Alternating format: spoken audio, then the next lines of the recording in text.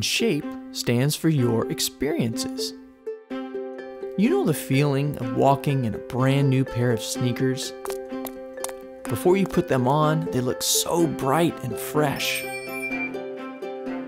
They smell good. Well, at least they don't smell like an old wet sock. Then you put them on, lace them up, buckle them up, whatever. You stand up and take your first step. What happens? Your step is a little off. Your feet ache because they feel like they're in straitjackets. What is going on here? The new shoes are too new. They aren't broken in yet. Our own lives start out like a new pair of shoes. We are new and fresh and smell wonderful. At least when we're in a clean diaper, that is. But we are completely unprepared for life. We haven't yet been trained for the trials ahead. And that is the very reason God allows us to test life and learn from the good times and the hard times. Those trials and bumps and joys and pains are the experiences that help to shape us and make us who we are. God is more interested in our character than he is in our comfort. He has his eye on the person we are becoming. What's even more amazing is that our experiences can be used to pass wisdom on to others. Have you or someone you love ever experienced a long and difficult illness? If you have, then the knowledge you gain from that experience can be helpful to someone else who is just beginning that difficult journey. Do you have siblings? Let me clarify. Do you have brothers or sisters who bug you, tease you, pick on you, torment you, break your toys? Well, guess what? Your experience with learning to patiently love them through those challenging times has prepared you to help someone else deal with a difficult relationship in their own life. Your experiences are the events in your life, moments that have helped to teach you and shape you into the person that God wants you to be. Think about what you've encountered in your life. Pray for guidance from God on how to use those experiences to honor Him and to love others. Hi, guys. Welcome back to Ask Pastor Steve, where you ask the questions and I give the answers. I have your questions right here, so let's take a look and see what's on your mind today.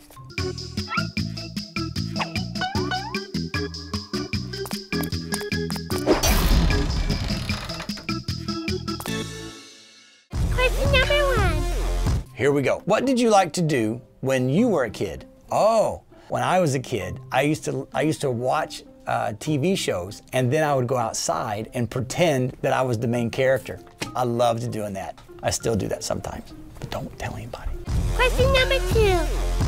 Do you get to travel often? Yeah, I get to travel some. I love going around the world, especially to our other campuses Buenos Aires, and Hong Kong, and Manila, and Berlin. I love being with those guys.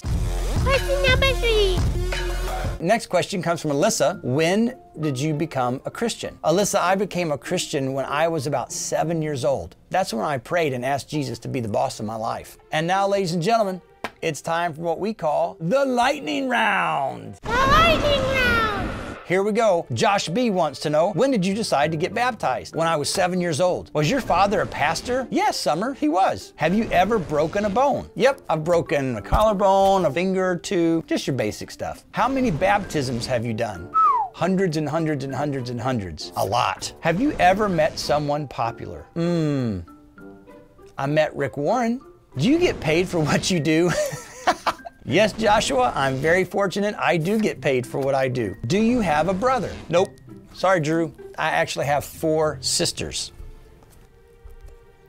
Christiana wants to know Did you work for any other church before coming to Saddleback? Yep, I sure did. We used to work at a church in Chicago, Illinois. Have you ever kissed a turtle?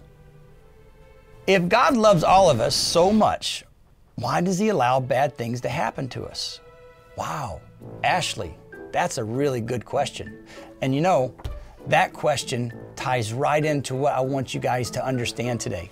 God doesn't make bad things happen in your life, but bad things do happen to all of us because we live in a broken world. We live in a world full of sin. And because of that, there will be some tough times. But those tough times that we go through, no matter what it is, God's always there with us. We've been talking about our shape S H A P E. Say it with me shape.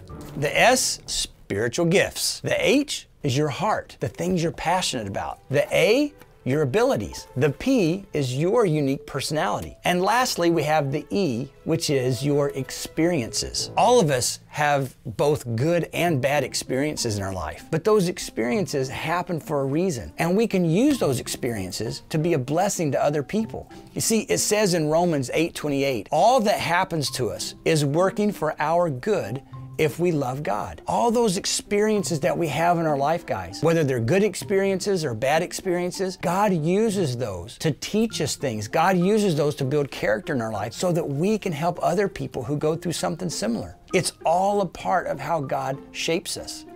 Yeah, it's unfortunate that bad things do happen. And I don't have an answer for why they happen. I just know that we live in a messed up world and there is sin and there are bad things around us. And I don't know why we have to experience the hurts that we do. Some of you guys have felt the pain of divorce in your family. Some of you have seen a loved one pass away. Some of you have been picked on before. You've been bullied. Some of you have felt alone. We all have experiences, both bad and good. There was a question asked Did I work at a church before Saddleback? And the answer was yes, I did. When I moved from our church in Chicago, I knew how to work with my kids when they had to change schools and meet new friends because I had to do that when I was a kid. My dad was a pastor.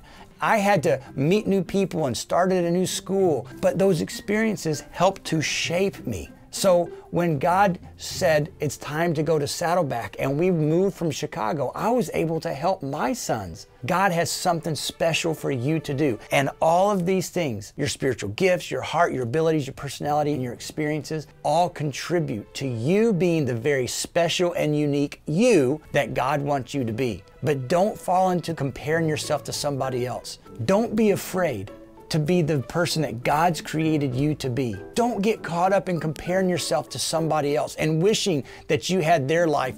You be the person God created you to be. And if you are, if you will do that, you'll experience joy and God will be able to use you to do that very special thing He's put you here on earth to do.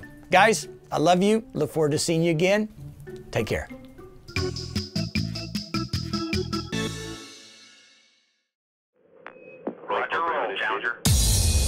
For thousands of years, people have looked up to the stars and wondered what's beyond. Thoughts of distant galaxies, strange planets, and possibly even life unlike any we've known on Earth. But no one could have ever imagined in the deep expanse of our universe lives one furry creature with four legs and a jetpack. Bah. His name is Space Goat, and he's here to help you, and he's here to help us, here to help us answer life's toughest questions.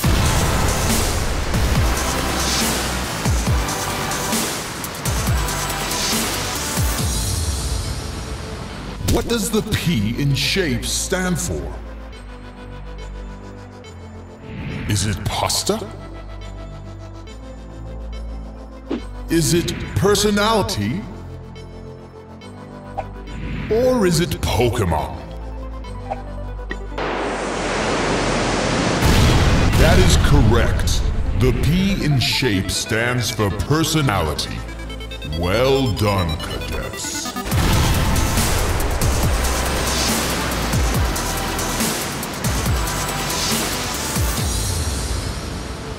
Which of these describes your personality?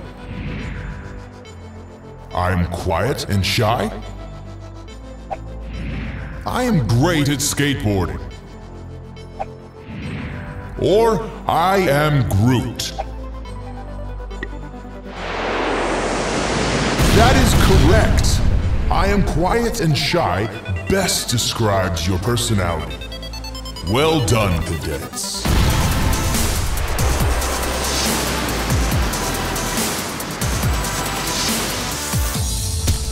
Which personality type can God use? Quiet and shy people? Confident and outgoing people? Or all of the above?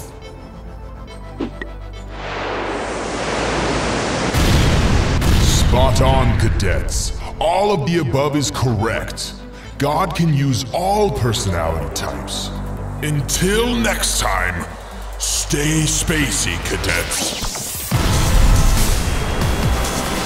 Challenger, go and throttle up.